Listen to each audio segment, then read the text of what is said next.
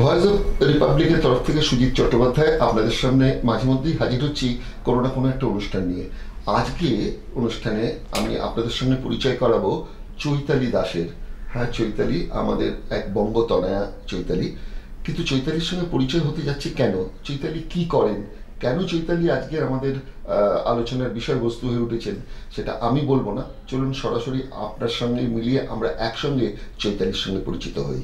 চৈতালি নমস্কার। আপনাকে অসংখ্য ধন্যবাদ। আমাদের জন্য একটু সময় বার করেছেন। আমাদের ভয়েস অফ রিপাবলিকের অসংখ্য দর্শক বিভিন্ন সাবজেক্টের উপর আমাদের অনুষ্ঠানগুলো দেখে।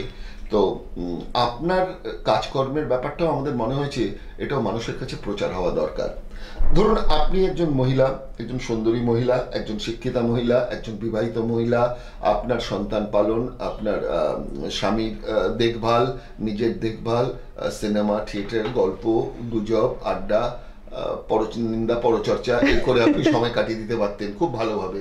মাঝে মাঝে কাশ্মীরে বেড়াতে যেতেন কিংবা ব্যাংককে যেতে পারতেন, থাইল্যান্ডে যেতে পারতেন, কদিন কাটিয়ে চলে আসতে পারতেন বন্ধু বান্ধবদের সঙ্গে আলোচনা করতে পারলে ওখানে এটা কিনেছি এইটা মার্কেটিং করেছি, সেটা করেছি। তা না করে হঠাৎ আপনার যেসব কাজকর্মের মধ্যে ঢুকেছেন, এখনও আমরা পুরস্কার নই আপনি কি কি কাজকর্ম রয়েছে, তবে এটুকু বুঝেছি, এতগুলো পুরস্কার যখন ঘরে সাজানো আছে, তাহলে নিশ্চয়ই কথায় বলে পুরস্কার তিরস্কার কলঙ্ক কণ্ঠের হার। কিন্তু আমি দেখছি আপনার কণ্ঠের হারের জন্য তিরস্কারের থেকে পুরস্কারটাই বেশি। কেন? মানুষের ভালোবাসা প্রথমেই বলে রাখি।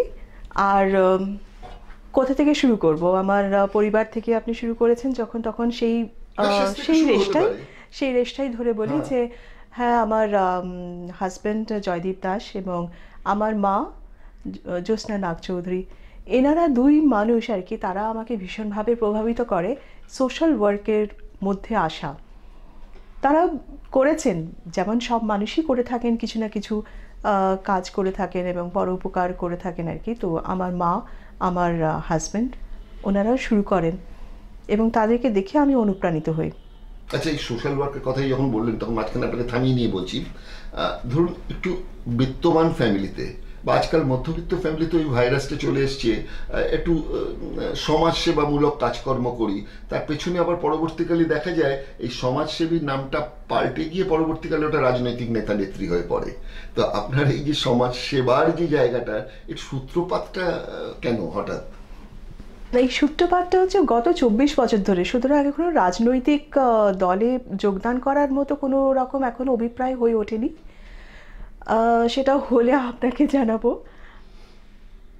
দীর্ঘ চব্বিশ বছর ধরে নানান রকম কাজ করে গেছি এবং নিজেদের উপার্জিত অর্থে বিশেষত আমার স্বামী, তিনি যে কাজটা করেন অর্থাৎ সিকিউরিটি এবং ফুড প্রসেসিং আউটসোর্সিং তার মাধ্যমে বহু মানুষকে আমরা তাদেরকে কাজ থেকে সাপোর্ট করতে পেরেছি। রুরাল উইমেন এম্পাওয়ারমেন্ট এবং ইউথ এম্পাওয়ারমেন্ট এবং তাদেরকে কাজ শিখিয়ে তাদেরকে প্লেসমেন্ট করা এবং মোটামুটি আমাদের পনেরো থেকে বিশ হাজার মানুষের আমরা কাজে আসতে পেরেছি, সক্ষম হতে পেরেছি, সেটা আমাদের একটা ভীষণ বড় পাওয়া। আমি গত চার বছর ধরে অর্গানাইজড ওয়েতে পুরোপুরিভাবে সোশ্যাল ওয়ার্কের সাথে যুক্ত। আমাদের এই কাজের পরিধিটা মানে যত দিন এগিয়েছে আর কি, সেই পরিধিটা আরও বেড়েছে। প্রথমে আমরা শুরু করেছিলাম নিজেদের ছোট্ট উপার্জন, সেই দিয়ে আমাদের ওই কম্বল দেওয়া, গাড়িতে করে আমরা সেই যখন সবে আমার যখন ওই পঁচিশ বছর আগের বিবাহিত জীবনের কথা মনে পড়ছে, তখন আমরা গিয়ে তখন ওই বারোটার পরে সান্টা ক্লসের মতো আমরা ওই কম্বল দিতাম শীতের। ওইখান থেকে যাত্রা শুরু হয়। তারপরে আমার শাশুড়ি মাও মারা যান এবং উনি বলে গিয়েছিলেন যে ওনার কাজে যেটা আমাদের হিন্দু শাস্ত্রে আছেন যে আমাদের একটা লোক খাওয়ানো এবং একটা। ব্যাপার সেটা না করে বরঞ্চ কিছু গরিব মানুষকে যদি আমরা খাওয়াতে পারি বা তাদের কোনোভাবে শীত বস্ত্র দিতে পারি তাহলে তার আত্মা শান্তি পাবেন। সেই থেকে আমাদের চলা শুরু এবং পরিধিটাও সেভাবে বেড়ে গেছে এবং পরিধিটা বাড়ার সাথে সাথে আমাদের কাজে কাজের যে ধারা সেটাও বেড়ে গেছে। অনেক মানুষ তার আমাদের সাথে যোগদান করেছেন যার জন্য আমরা কখনো বলতে পারব না যে একটা একটা জিনিসের ওপরেই আমরা যে কনসেন্ট্রেট করে কাজ করছি সেটা নয়। আমাদের পাঁচটা ক্যাটাগরিজ রয়েছে, পাঁচটা ভার্টিক্যাল সৃষ্টি রক্ষক, জীবিকা রক্ষক, স্বাস্থ্য রক্ষক এরকমভাবে শক্তি রক্ষক এবং স্বাস্থ্য রক্ষক, অর্থাৎ হেলথ স্কিল ডেভেলপমেন্ট জীবিকা এবং আমাদের স্বাস্থ্য রক্ষকের আন্ডারে যেরকম আমাদের হেলথ এসছে ক্রিয়েটিভিটি হচ্ছে, সৃষ্টি এসছে। তো নানান রকম কাজ আমরা করেছি। করতে করতে আমরা এখন director of present Shri Arun Kumar Gupta, ওনার এবং ও- খুব এনকারেজ করেছেন যে আমরা কারেকশনাল হোমে কাজ করা। তো আমাদের শুরু হয়েছিল উইমেন্স কারেকশনাল হোম সেখানে আমরা মহিলাদেরকে কিছু স্পোকেন ইংলিশ এবং পার্সোনালিটি ডেভেলপমেন্টের কাজ শেখাই। কারণ তাদের ওই টেনিয়রের পরে তখন যখন ওরা মূল স্রোতে আসবেন তারা যাতে কোনো কাজ করতে পারেন। সেলসের কাজে দুটো একটা ইংরেজি কথাটা খুব প্রয়োজন এবং কনফিডেন্সটা বিল্ড আপ করাটাও খুব দরকার। তারপরে আমরা যেরকম অ্যাপারেল ডিজাইনিং লেদার তারপরে আমরা একটা হোমিওপ্যাথি ক্লিনিকও ওখানে চালাই, দমদম সেন্ট্রাল কারেকশনাল হোমে আর রিসেন্টলি এই মুহূর্তে আমাদের যেটা চলছে, সেটা হচ্ছে যে পেন্টিং এই গত ওয়ার্ল্ড হেরিটেজ উইক সেটাকে আমরা পালন করেছি ইন্ডিয়ান মিউজিয়ামে এবং তাতে সেন্ট্রাল থেকে এবং স্টেট থেকে বিভিন্ন ডিগনিটারিজরা এসেছেন কনসুলেট থেকে এসেছেন, তারাও একটা ছবি নিয়েছেন এই কারেকশনাল হোমেরই বন্দি আর কি, যে এই এই পার্টিকুলার যে প্রজেক্টটা সেটা হলো মায়েদের। আপনি নিশ্চয়ই জানবেন যে মায়েদের সাথে ছ বছর অবধি শিশুরা তাদের সঙ্গে থাকতে পারে। তো এই প্রজেক্টটা হচ্ছে আমাদের একদম মা ও শিশুদের নিয়ে সেই প্রজেক্ট থিমটা ছিল ঐতিহ্য। ঐতিহ্য অর্থাৎ যে কলকাতা শহর, পুরনো কলকাতা কেমন ছিল? এবং বহু বাড়ি, বহু সুন্দর সুন্দর বাড়িগুলো দেখে আমরা খুব দুঃখের সঙ্গে দেখি যে তাদের এই ভগ্নদশাগুলো। তো আমার এই দৃষ্টি আকর্ষণ করার জন্যেই এই প্রজেক্টটা করা যে মানুষ যাতে তা, সেখানে ওই দৃষ্টি আকর্ষণ করে সেই সেইটাকে রিস্টোর করে আরও সুন্দরভাবে যদি আমরা ভবিষ্যৎ এবং আমাদের এখনকার প্রজন্মের কাছে আমরা তুলে ধরতে পারি আমাদের ঐতিহ্যকে। আমরা সেই পুরনো কলকাতাকে তুলে ধরেছিলাম মানুষের কাছে এক সপ্তাহের একটা এক্সিবিশনের মাধ্যমে এবং সাথে সাথে আটটা ক্যানভাস বিক্রি হয়ে যায়। তো মানুষ সেটা এই জিনিসটাকে গ্রহণ করেছেন, তারা বাহবা দিয়েছেন এবং সেটা আমরা আবার ক্যারি ফরওয়ার্ড করে দিয়েছি যে আর্টিস্ট যারা প্রিজনের আর্টিস্ট তাদেরকে আমরা জানিয়েছি এবং তাদের কাছে এটা একটা বিরাট পাওয়া। যারা সর্বস্ব হারিয়েছেন, মান সম্মানটুকুও যারা হারিয়েছেন তাদের কাছে এই মানুষের যে প্রশংসা, সেটা তাদের কাছে একটা ভীষণ বড় পাওয়া। কতগুলো যোগ্য আছে? তার মধ্যে সবচেয়ে বেশি কঠিন ব্যয়বহুল তো বটেই এবং তার যে নানান রকম নিয়ম, সেগুলোর মধ্যে হচ্ছে কি অশ্বমেধ যজ্ঞ। তো সেই অশ্বমেধ যজ্ঞের পর্বের সূচনা যখন আপনার হলো, তখন তো আপনি জানতেন যে একটা সমুদ্রে আপনি নামতে চলেছেন। তখন এই প্রথম যে কম্বল দেওয়া থেকে শুরু হলো পথের নাগরিকদের দেওয়া থেকে। তো সেদিনকে তো আপনি ভেবেছেন যে এই যে আজকে পথ চলা শুরু হলো এরপর তো আমার সমুদ্রের আরও গভীরে গিয়ে যেতে হবে।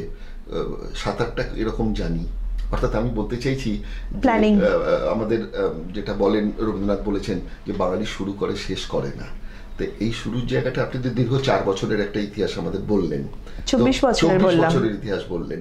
তো এই চব্বিশ বছর ধরে টেনে নেওয়ার মধ্যে আপনারা মানে জীবনী শক্তি বলতে যেটা বোঝায়, এই জায়গাটা কোথা থেকে অর্জন করেন? এ তো রোজ চার্জ দেওয়ার মতন ব্যাটারি। একদম ঠিক কথাই বলেছেন। এবং এই জীবনী শক্তিটা হচ্ছে, এর উৎস হচ্ছে আমার হাজবেন্ড তার সাপোর্ট ছাড়া কখনোই এটা হতো না। আমাদের যে উপার্জন, কারণ আমি ওনার সংস্থার একজন ডিরেক্টর তো আমাদের যা আর্নিং সেই আর্নিংয়ের থেকে একটা বড় অংশ এইখানে চলে যায়। সুতরাং এই এইটা হয় বলেই আমরা অনেকটা কাজ ফ্রিলি করতে পারি। এইভাবেই চলছে। এর জন্য কি কোনো সরকারি বা বেসরকারি উদ্যোগের কোনো আর্থিক সাহায্য নিচ্ছেন? এখনও পর্যন্ত হয়ে ওঠেনি। তবে হ্যাঁ এই- এই রিসেন্টলি আমাদের ন্যাশনাল জুট বোর্ড গত দেড় বছর ধরে ওনাদের সাথে আমরা অ্যাপ্লিকেশন লেখার পরে ওনারা আমাদেরকে এগিয়ে এসছেন যে আরেকটা ট্রেনিং এবং কিছু মেশিনপত্র ওনারা আমাদের দমদম সেন্ট্রাল কারেকশনাল হোমে দিয়েছেন। তো আগামী দিনেও এইভাবে যদি আমরা অন্যান্য সরকারি এবং বেসরকারি সংস্থার সঙ্গে যদি আমরা যুক্ত হতে পারি, কাজগুলো অনেকভাবে দ্রুত এগোতে পারে আর অনেকটা কাজ, কারণ আমাদের এটা হাইলি পপুলেটেড কান্ট্রি প্রয়োজন অফুরন্ত। যখন আপনি বললেন যে আমি সাঁতার কাটতে নেমেছি, আমি জানতাম না যে আমি সাঁতার কাটতে নেমেছি। আমার ইচ্ছে ছিল আমি কাজ করব, কিন্তু কাজ করতে করতে কাজের প্রয়োজনটা এত বেশি যে সেই প্রয়োজনের কাছে আমার যতটুকুই কাজ করি না কেন সেই কাজটা খুবই সামান্য মনে হয়।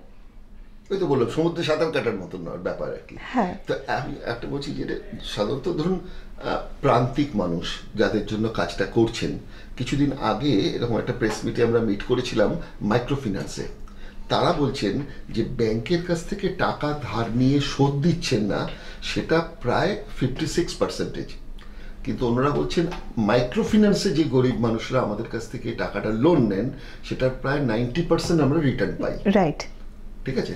তাহলে দেখা যাচ্ছে যে প্রান্তিক মানুষরা বেসিক্যালি কিন্তু সৎ হন।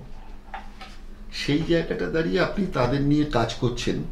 সেখানে ফিনান্স একটা বড় জায়গা থাকে যেটা আপনি বললেন এখন জাস্ট এই চব্বিশ বছরে সবে আপনি এই জুট ন্যাশনাল জুট বোর্ডের কাছ থেকে আপনি একটা সহযোগিতা পেতে চলেছেন। তাছাড়া ধরুন ডিরেক্টরেট অফ প্রিজন তারা হয়তো তাদের এই প্রিজনের জায়গাটা দিয়েছেন। ওই ওই সহযোগিতা ওই রকম বা ইলেকট্রিসিটি দিচ্ছেন যে মেশিনপত্র চলছে পাখা চলছে।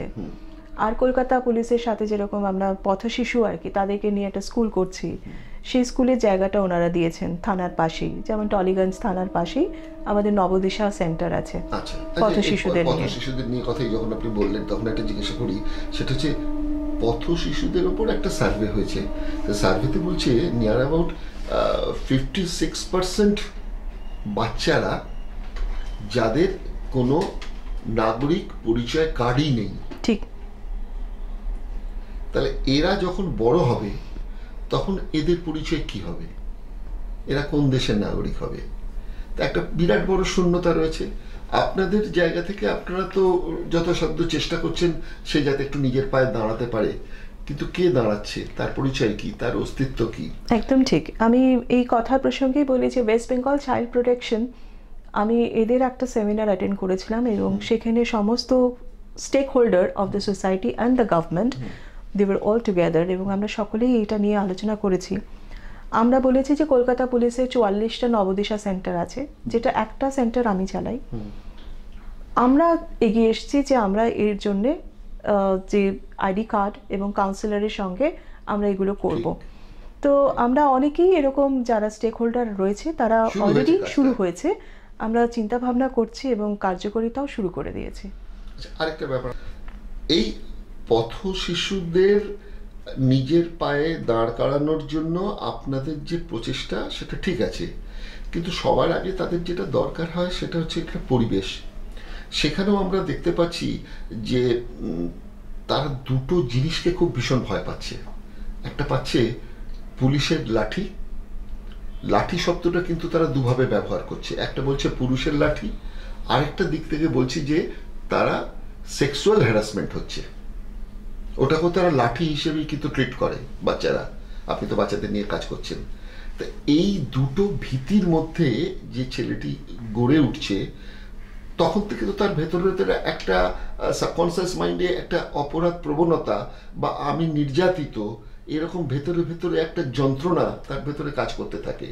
আপনি তাকে শেখাচ্ছেন হাতের কাজ, তার খাওয়া দাওয়ার ব্যবস্থা করছেন, তাকে আইডেন্টিটি দেওয়ার ব্যবস্থা করছেন, কিন্তু সামাজিক নিরাপত্তা দেওয়ার ক্ষেত্রে হ্যাঁ প্রশাসন, সরকারের একটা তো ভূমিকা আছে, কিন্তু প্রশাসন এবং সরকারের পাশাপাশি আপনাদের মতন যারা কাজ করছেন সোশ্যাল কজে এই জায়গাটায় কি করে তাদের অন্তত, প্রথমে তো মানসিক নিরাপত্তা তাদের দরকার, তবে তার বাড়তি চাহিদাগুলোকে আপনি পূরণ করতে পারবেন এবং তার ফলে ওদের স্ফুরণ আমি হতে পারবে। এখানে একটু আপনাকে না আমি এখানে আপনাকে বলছি যে কলকাতা পুলিশ কিন্তু এগিয়ে এসেছে এই কাজটা। পুলিশের লাঠি এখানে এই লাঠিটাও হচ্ছে যে তাদের নিরাপত্তা দিচ্ছে। যে নবদিশা সেন্টারটা রয়েছে এটা কিন্তু কলকাতা পুলিশের উদ্যোগ।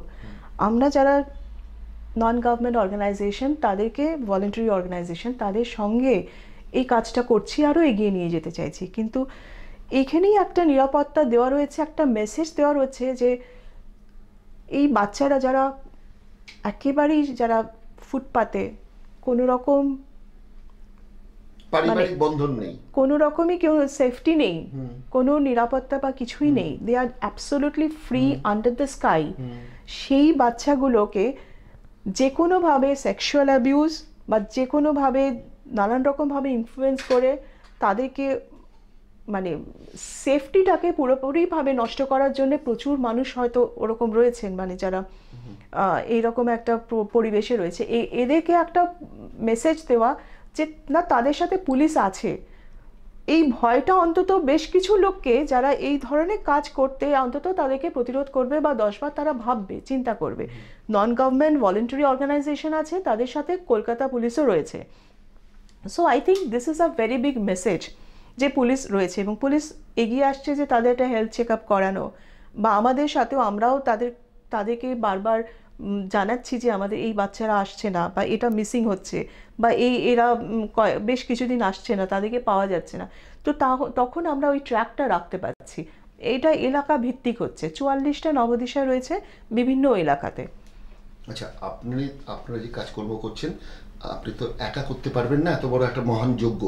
তো এই যজ্ঞেতে আপনার সঙ্গী সাথী থাকে। পুলিশের মধ্যেও যারা কাজ করছেন তারাও কেউ অন্য গ্রহের মানুষ নন। তারাও এখানকার মানুষ। আপনি যাদের সহযোগিতা নিয়ে কাজকর্ম করছেন যে ছেলে মেয়েদের নিয়ে কাজকর্ম করছেন তারাও এই গ্রহের মানুষ। তাদের যে মেন্টাল ম্যাচিউরিটি যায় আমি কি করছি কেন করছি তার জন্য আমার কর্তব্যটা কি হওয়া উচিত আমার মানসিক গঠন বা করা উচিত সেটাও কিন্তু পুলিশে ইমিডিয়েটলি চালু হয়েছে। এর আগে এতদিন ছিল না যে আমি পুলিশ বলতে তারা বোঝাতো যে আমরা রক্ষক মানে আমরাই ভক্ষক। এরকম একটা টেন্ডেন্সি কাজ করতো। আস্তে আস্তে তাদের জায়গাটা পাল্টাচ্ছে। কিন্তু আপনাদের মতন অর্গানাইজেশনগুলো যেগুলো, তাদের মেন্টালি ম্যাচিওর করার, পুলিশ কর্মীদেরও এবং তার সঙ্গে সঙ্গে আপনাদের যেসব কর্মীরা কাজ করতে যায়, তাদের যে কমিটমেন্ট এই কমিটমেন্টটা কোথা থেকে আসছে? হিউম্যানিটির জায়গা থেকে আসছে। একদম। তো হিউম্যানিটির সংজ্ঞাটা কি হবে? এই নিয়ে কি তাদের নিয়ে কোনো একটা ট্রেনিং থাকছে? না হলে তারা এত বড় জায়গায় গিয়ে এদের সঙ্গে কি করে তাদের কেমিস্ট্রি তৈরি হবে? এই কথা বলতে গিয়ে আমার মনে পড়ল যে আমাদের দমদম সেন্ট্রাল কারেকশনাল হোমের যে সুপারিনটেন্ডেন্ট দেবাশিস চক্রবর্তী উনি এনাদের যে সাপোর্ট বা সহযোগিতা যদি না থাকতো তাহলে হয়তো আমাদের কাজ করতে খুবই অসুবিধা হতো। কারণ একটা জেলের ভেতরে কাজ করার মধ্যে অনেক বাধা নিষেধ অনেক রকম প্রোটোকল থাকে সেটাকে রেসপেক্ট করে যাওয়া। কিন্তু তারা ভীষণভাবে কমিটেড এবং তাদের ওই হিউম্যান সাইডটা আমি কাজ করতে করতে উপলব্ধি করেছি। যে আমাদেরও এই পুলিশ বা হিন্দি ছবি, নানা রকম ছবি দেখে যে একটা ধারণা প্রসন্ন আমাদের মনের মধ্যে হয়েছে যে, পুলিশ মাত্রই মানে ভীষণ একটা নেগেটিভ একটা ব্যাপার। কিন্তু আমি দেখেছি যে, তাদের মধ্যে ভীষণভাবে ওই হিউম্যান ব্যাপারটা আছে এবং তারাও চায় যে, মানুষের যাতে ভালো হয়, মানুষের যাতে মঙ্গল হয়।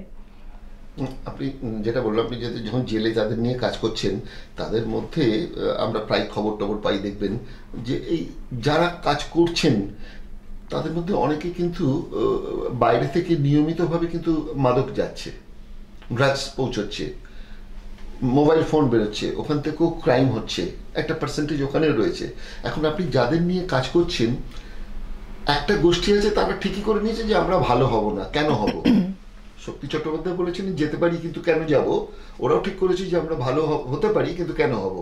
তো যে সংখ্যক লোক আছেন এই যারা আপনাদের কাছে এসে একটু মেন্টালি তারা অন্য জায়গায় একটা ক্রিয়েটিভ কাজের মধ্যে থেকে নিজেকে পাল্টাবার যে চেষ্টাটা এরা কি আবার ওটার মধ্যে কোনো ভাইরাস ইনফেকশন করছে কিনা সেই খবরটা কি করে পাবেন আপনারা? এক- এক একটা সময় তো আপনি বেরিয়ে আসছেন। ম্যাক্সিমাম টাইমটা তো তাদের সঙ্গে কাটাতে হচ্ছে। না আমি বলছি যে আমাদেরকে যখন হ্যান্ডওভার করা হয় অর্থাৎ নন নন গভর্নমেন্ট অর্গানাইজেশনকে যখন হ্যান্ডওভার করা হয় যে বেশ কিছু সংখ্যক মানুষ যারা আমাদের সাথে কাজ করবেন তাদেরকে অলরেডি কর্তৃপক্ষ স্ক্রিনিং করে আমাদেরকে দেয়। তো সুতরাং তাদের ওই যে রিফর্ম বা তাদের ব্যাকগ্রাউন্ড এগুলো চেক করে ওনারা দেন আর কি যে তাদের রিফর্ম হওয়ার সম্ভাবনা রয়েছেন এবং এইগুলো একটা রিফর্ম মেজারের মধ্যে রয়েছেন সব থেকে কঠিন পানিশমেন্ট বোধহয় মানুষকে যদি কাজ না দেওয়া হয়। তো এই মানুষগুলো যখন তারাও জুট নিয়ে যে কাজ করছে বা তাদের যে এটাই প্রফেশন তা তা কিন্তু নয়। তারা বিভিন্ন প্রফেশন থেকে এসছেন। কিন্তু আজকে তারা ওই জুট তৈরি করা, ওই ব্যাগগুলো তৈরি করা, তার মধ্যে থেকে একটা প্রাণের একটা স্পন্দন পায়। তারা একটা নতুন একটা আশার একটা পায় যে একটা বেঁচে থাকার একটা উৎস আর কি, যে হ্যাঁ এটা আমাকে করতে হবে। যখন ওই জুটের জিনিসগুলো তৈরি হয়ে যখন ফিনিশ প্রোডাক্ট আমাদের ডেলিভারি হয়, তারা যে কি সুন্দরভাবে কি সুন্দরভাবে গুছিয়ে ওটাকে দেয় মনে হয় যে তাদের একটা সত্তা বোধহয় ওই জেলের প্রাচীরের বাইরে যাচ্ছে। তো এটা একটা ইমোশনাল একটা বন্ডিং এই কাজটার মধ্যে রয়েছে। শুধু যে একটা কাজ বা একটা এর এর মধ্যে যে তাদের একটা ভীষণ বড় একটা উপার্জন করতে হবে এরকম নয়। যদি এর মধ্যে উপার্জন যেটুকু আসে সেটুকু যদি তারা তাদের পরিবারকে দিতে পারে সেটা একটা বিরাট ব্যাপার। কারণ অনেকেরই সন্তান আছে বুড়ো মা বাবা রয়েছেন। হয়তো একটা man of the house is in the prison তো সুতরাং তাদেরকে একটা সাপোর্ট দেওয়াটা খুব দরকার।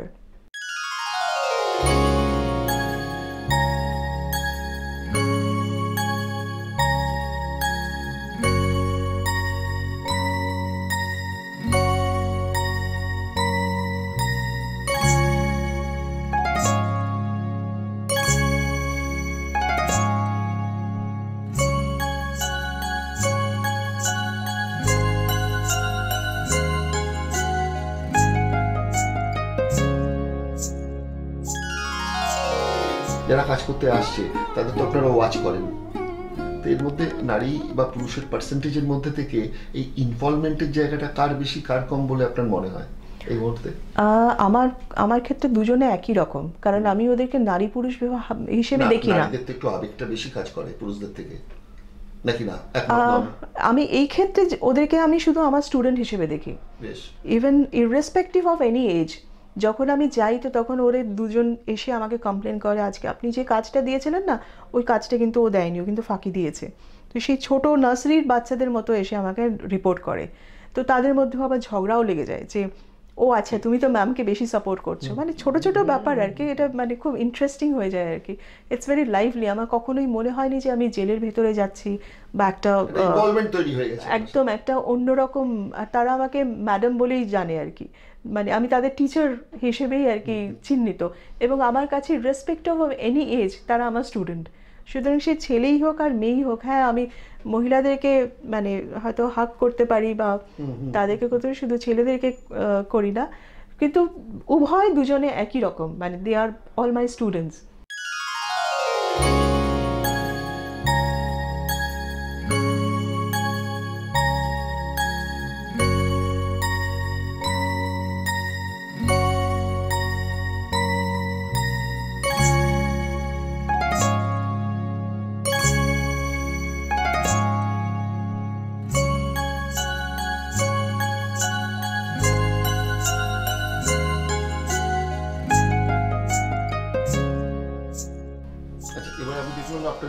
কিছু হাতের কাজ হচ্ছে দেখলাম জুট নিয়ে একটা কাজ হচ্ছে। এই জায়গাটা তো তারা শিখছে তৈরি হচ্ছে সব আছে কিন্তু এটার একটা তো জায়গা দরকার বিপণন বলে একটা ব্যাপার আছে ঠিক। ব্যবসাতে। একদম। সেই বিপণনের জায়গাটাকেও তো নিশ্চয়ই আপনাদেরই ভাবতে হবে। হুম যেহেতু তারা বাইরে আসতে পারছে না বলে। তারা আসতে পারছে না। সুতরাং এই জায়গাটাকে কীভাবে আপনারা নিয়ে যাওয়ার চেষ্টা করছেন? আমরা বিভিন্ন ফ্যাশন ফ্যাশন শোর মধ্যে অ্যাওয়ারনেস ক্রিয়েট করেছি। আমরা স্যারকে নিয়ে গেছি। সেখানে আমাদের জুটের জুট স্টোরি বিয়ন্ড বাস এটার একটা প্রজেক্টের নাম আমরা একটা ব্র্যান্ড নাম দিয়েই আর কি এটাকে চিহ্নিত করেছি। তো এই প্রোডাক্টগুলো নিয়ে গেছি। শ্রীলঙ্কাতে সার্ক হয়েছিল সেখানে নিয়ে গেছি। বিমস্টেক এখানে যেমন সাতটা কান্ট্রিজ এখানে পার্টিসিপেট করেছিল ইন্ডিয়ান চেম্বার অফ কমার্স সেখানেও সবার সাথে আর কি আমরা এটা উপস্থাপনা করেছিলাম দেখতে চেয়েছি যে মানুষ এটা গ্রহণ করছে কিনা বা এটা প্রিজনারদের তৈরি তাতে মানুষ ইন্টারেস্ট নিচ্ছে কিনা।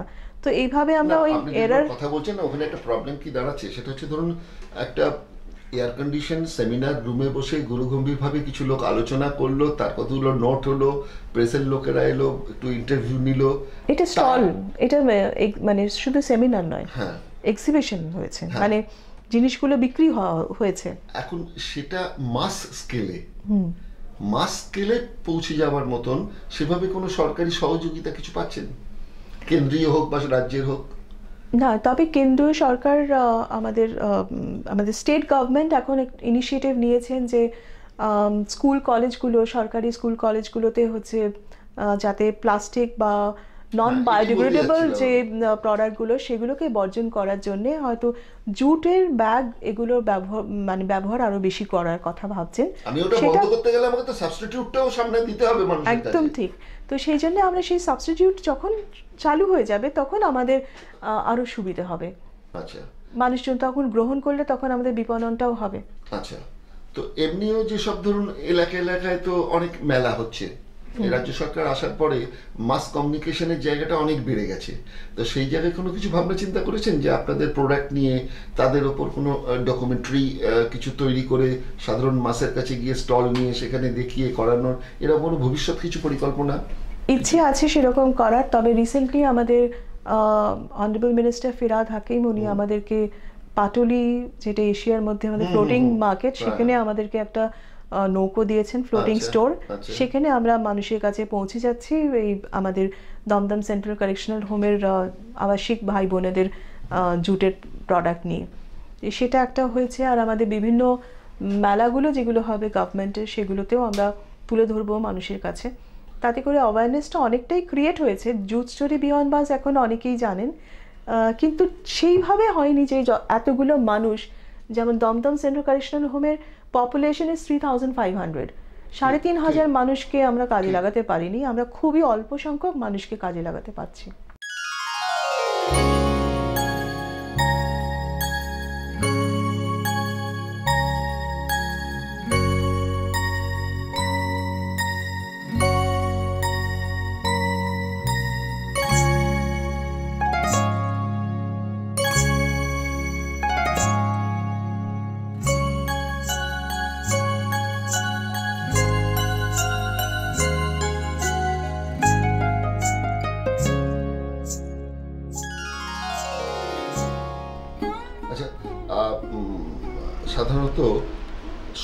সেবার সঙ্গে যুক্ত যারা, তাদের সঙ্গে একটা থাকবে, তাদের একটা মোটা ফ্রেমের চশমা থাকতে হবে তাদের একটু খদ্দরের শাড়ি তারা পরবে, কিংবা ইন্টেলেকচুয়াল একটু স্টাইলে কাঁধে ব্যাগ নিয়ে তারা মুভমেন্ট করবে। কিন্তু সেখানে পাশাপাশি আপনাকে দেখছি তো একদম টোটালি বলিউড স্টাইলে আপনি নিজেকে প্রেজেন্টেশন করছেন, একটা অন্য গ্ল্যামার কাজ করছে। তার মধ্যে আবার শুনতে পাচ্ছি যে আপনি কিছু বিউটি কম্পিটিশন গুলোতেও আপনি নাম দিচ্ছেন। তা এই তো সাধারণভাবে সাধারণ মানুষের চোখে তো মনে হবে ওটা নর্থ পোল আর এটা সাউথ পোল আপনার আপনার জীবনের আপনার সত্তার এই দিকটা নিয়ে একটু বলুন না কিছু। আচ্ছা এটা হচ্ছে বিউটি কন্টেস্ট না? মানে এটা হলো বিউটি প্যাজেন্ট এবং এটা international Mrs international classic two thousand eighteen এই প্যাজেন্টের এই ক্রাউন এবং টাইটেলটা আমি আপনাদের সকলের শুভেচ্ছায় সেটা আমি অর্জন করতে পেরেছি। এবং এখানে পনেরোটা কান্ট্রিজ পার্টিসিপেট করেছিল দম এটা দুবাইতে হয়েছে অ্যাটলান্টিস ওয়েল আমার এই আমার মনে হয়েছে যে আমি যা আমি তাই। এবং সেখানে আমার কোনো প্রিটেন্ড বা কিছু করার প্রয়োজন নেই। এইভাবেই মানুষ আমাকে গ্রহণ করেছেন। আর মহিলাদের কাছে আমার এটাই একটা মেসেজ যে আমার বাইশ বছরের এক ছেলে তার মা আমি আজকে এই বয়সে একটা বিউটি প্যাজেন্টে গেলাম। তার জন্য আমাকে যথেষ্ট তৈরি হতে হয়েছিল। আজ থেকে তিন মাস আগেও আমি একটু ওভারওয়েট ছিলাম। আমার একটু প্রবলেম হতো রেসপিরেটরি প্রবলেম হতো। ডাক্তার বলেছিলেন আমাকে ইমিডিয়েটলি ওয়েট কমাতে। আমি তখন মনে করলাম যে ঠিক আছে আমাকে কমাতেই হবে। এমনভাবেই আমি নিজেকে তৈরি করব যে I be able to join a beauty pageant এবং এটা একটা খেলা মানে কথার ছলেই হয়েছিল আর কি আমার পরিবারের সাথে যে হ্যাঁ তাহলে তুমি করে why to join a beauty pageant আমি বলছি okay I will join a beauty pageant So, I always try to push myself to the extreme level and I want to make the best come out of me. তো সেটার জন্য আমি gym এবং যোগা সব কিছু করেছি এবং আমি সাত কিলো ওয়েট কমিয়েছি এবং তাতে আমি যথেষ্ট সুস্থ এবং আরও কনফিডেন্ট ফিল করছি।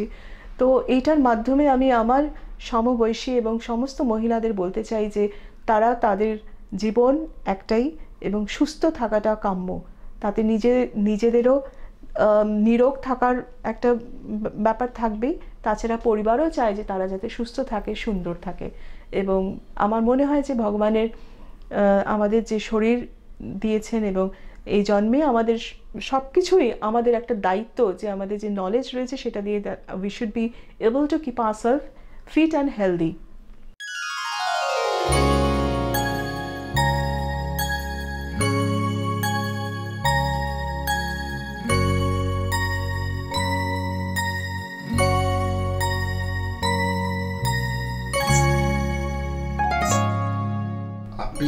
এত কিছুর মধ্যে থেকে আপনি আপনার পরিবারকে আপনার কারও মা কারও স্ত্রী আপনি এই দুটো সময় দেন কখন? টাইম ম্যানেজমেন্ট মেনে নিলাম একটা সাবজেক্ট আছে। কিন্তু সেই টাইম ম্যানেজমেন্টে তো আমি আপনার সেরকম জায়গা দেখতে পাচ্ছি না যে সময়টা আপনি আপনার পুত্র বা আপনার হাজবেন্ড আমার পুত্র এখন বাইরে আছে কানাডাতেও পড়াশোনা করছে। আচ্ছা। ফাইনাল ইয়ার ইন্টারন্যাশনাল রিলেশন নিয়ে পড়াশোনা করছে। আচ্ছা। আর আমি আমার সকাল যখন থেকে শুরু হয় তখনই কাজের মধ্যে থাকি। যতক্ষণ না ঘুমিয়ে পড়ি, ততক্ষণ আমি কাজ করি। আর আমার পরিবার আমাকে ভীষণভাবে সাহায্য করেন কারণ তাদের কোঅপারেশন ছাড়া কোনোভাবেই প্রথমেই এতগুলো কাজ আমি করতে পারতাম হ্যাঁ, না। কিন্তু সেই কর্পোরেশন ঠিক আছে কিন্তু তাদের জন্য তো কিছুটা সময় আপনার ঠিক আছে পুত্র আপনার বিদেশে থাকে হাজবেন্ডের জন্য তো আপনার একটা পারিবারিক সম্পর্কে একটা জায়গা থাকে না এই কাজের মধ্যে থেকেই আপনাদের সেই জায়গাটা উনি আমাকে? ছেড়েই দিয়েছেন উনি কাজের মধ্যেই আমাকে দিয়ে দিয়েছেন। আর আমার অ্যাকচুয়ালি ইচ্ছে হলো যখন বাড়ির বাইরেই যখন বেরিয়েছি শুধু আমার কমিউনিটি নয়, আমার স্টেট নয়, আমার কান্ট্রি নয় গ্লোবালি আমি কাজ করতে চাই। শুধু আমাদের জন্য নয়, আগামী প্রজন্মের জন্যও কাজ করতে চাই, যার জন্য আমার সমস্ত কাজের দিশা হচ্ছে এনভায়রনমেন্ট মানে সাস্টেনেবিলিটির ওপরেই কাজ আর কি sustainable development goals of United Nations অর্থাৎ আমার যেমন gender equality women empowerment poverty alleviation যার জন্য আমরা স্কিল ডেভেলপমেন্ট এবং ইকোনমিক্যাল এম্পাওয়ারমেন্টগুলো নিয়ে যখন আমরা কাজ করছি। আর কোলাবোরেশন অ্যাসোসিয়েশন নিশ্চয়ই আপনার চ্যানেলের মাধ্যমে হয়তো অনেকে যদি ইন্টারেস্ট নেন, হয়তো তাদের সাথে কোলাবোরেট করেও আমরা আরও এগোতে পারব। কারণ কাজ প্রচুর, অনেক কাজ করার আছে এবং সকলেরই প্রয়োজনীয়তা আছে একসাথে কাজ করার on a shared vision on a common goal দেখুন, ভারতবর্ষের মতন থার্ড ওয়ার্ল্ড কান্ট্রিতে আপনি মহিলাদের অস্তিত্ব রক্ষার জন্য, তাদের স্বনির্ভর হওয়ার জন্য, আর্থিকভাবে তাদের স্বাবলম্বী করার জন্য যে কাজগুলো করছেন তো নিশ্চয়ই, এগুলো খুব প্রয়োজনীয় কাজ। কিন্তু আমাদের ভারতবর্ষের মতো সমাজ ব্যবস্থায় এখনও দেখুন আপনি সবরিওয়ালাই মন্দিরে মেয়েদের ঢুকতে দেওয়ার একটা ধর্মীয় একটা বাধা ছিল। সুপ্রিম কোর্ট সেটাকে অর্ডার দিয়ে দিচ্ছে যে হ্যাঁ সবার জন্য ওটা হবে। কিন্তু মজার ব্যাপার দেখা যাচ্ছে যে কেরলের মতন যেখানে হান্ড্রেড পার্সেন্ট শিক্ষিত মানুষ থাকেন ভারতবর্ষের মাত্র একটা জায়গা রাজ্য সেখানে মেহেরাই কিন্তু আন্দোলন আন্দোলনে নেমেছে আপত্তি জানিয়ে যে এই ধর্মীয় নিয়মটা মানতে হবে মেয়েরা কেন যাচ্ছে? মেয়েরাই করছে। কিন্তু অনেক মেয়েরা এখন অলরেডি গেছে মন্দিরে। চারজন, ছজন গেছে, কিন্তু দেখা যাচ্ছে শয়ে শয়ে মহিলারা, আপনিও দেখবেন আমাদের এখানে তো মেয়েরা কিন্তু, কেন জানি না আপনি সাইকোলজিক্যালি কি ব্যাপার আপনি বলতে পারবেন অনেকদিন রয়েছেন এটার সঙ্গে জড়িত, যে এটা একটা কি মেয়েদের মধ্যে একটা কি কাজ করে যে হ্যাঁ একটা পুরুষের অধীনে তার গার্জেনশিপের মধ্যে থাকাটা কিন্তু আমাদের জন্য অনেক বেশি নিরাপদ। এরকম একটা ব্যাপার কি আপনি আপনি কাজ করতে গিয়ে যে ক্লাসটার সঙ্গে আপনি মিশছেন আমি ওপরের এটাকে ছেড়ে দিচ্ছি পশ এদের ছেড়ে দিচ্ছি। এখানে কি মনে হয়? দুটোর মধ্যে একটা বেসিক ডিফারেন্স পেয়েছেন? এইখানে একটা কিছু ডিভিশন রয়েছে। বেশ হ্যাঁ। কিছু সংখ্যক মহিলারা মনে করেন যে তারা স্বাধীন এবং তারা পুরুষের ওই আধি- মানে অধীনে থাকাটা তারা তারা নিজেরাই যথেষ্ট আর কি তারা হ্যাঁ। এগিয়ে যেতে পারে। আবার অনেক সংখ্যক মহিলারা মনে করেন যে না এটাই নিরাপদ এটাই চলছে এটা আমরা ব্রেক করব না এই রুলটা আমরা ব্রেক করব না এটা চলতে থাকুক। তো এর মধ্যে একটা টাগ অফ ওয়ার চলছে কারণ যার জন্য আমাদের গত তিন বছর আগেও আমরা সেমিনার করেছি ইন্ডিয়ান চেম্বার অফ কমার্সের সাথে এবং সেখানে বলছে অওয়েকেনিং মানে মহিলারা জেগে ওঠো তোমরা শুয়ে থেকো না। কারণ নিজেরা যদি তোমরা না জাগতে পারো তাহলে কেউ তোমাদের আর জাগাতে পারবে না। নিজের জায়গাটা নিজেকে করতে হবে এবং পুরুষ বলছে তোমরা এসো। এই নয় যে তোমরা এসো না বা তোমাদের দাবিয়ে রাখব আর কি। তো এটা একটু মানে বেশ কিছু সংখ্যক মানুষের মহিলাদের মধ্যে এই জিনিসটা কাজ করে যে দে আর মোর সিকিওর এই গতানুগতিক রীতির রেওয়াজটা চলুক যেরম চলছে। আর বেশ কিছু মহিলারা মানে রয়েছেন যে তারা এগিয়ে যেতে চায়। তারা মনে করেন যে তারা সেলফ সাফিসিয়েন্ট এবং তারা যথেষ্ট নিজেরাই। তো চৈতালি, খুব ভালো লাগল আপনার সঙ্গে আলাপ করে। আপনার যে কর্মযোগ্য এবং সেই কর্মযজ্ঞে আপনার স্বামীর সহযোগিতা, পারিপার্শ্বিক জায়গা থেকে অনেকের কাছ থেকে, প্রশাসনিক স্তর থেকেও আপনি অনেক সহযোগিতা পাচ্ছেন। এই সব কিছুর পরেও একটা কথা থেকে যায়, আমার আমি। এই আমার আমির জন্য আপনি কি সময় দেন? না, এটাই এই কাজকর্মগুলোই আপনার পাওয়া, যেগুলো আপনার চাহিদা নিজের। নিজের একদম নিজস্ব আমার আমি। একদম সেটা সেটা কি কিছু ছিল যেটা আপনি হারিয়েছেন এই কাজগুলো করতে গিয়ে? এরকম কিছু একটা ত্যাগ করতে হয়েছে। যেটার জন্য একটা মনের একটা কোথাও একটা আফসোস আছে একটা দুঃখ আছে কিন্তু আপনি যেহেতু একটা বৃহত্তর কাজে নেমে ফেলেছেন ওটাকে আপনি বিসর্জন বলে ভেবে নিচ্ছেন এরকম কিছু আছে? ঠিক। খুব ভালো প্রশ্ন করেছেন এটা। আমার আমি বলতে গিয়ে এই কাজটা করতে গিয়ে খুব প্যাশন লাগে। মানে প্যাশন ছাড়া হয়তো সোশ্যাল ওয়ার্ক করা যায় না। অনেকটা ইমোশন লাগে।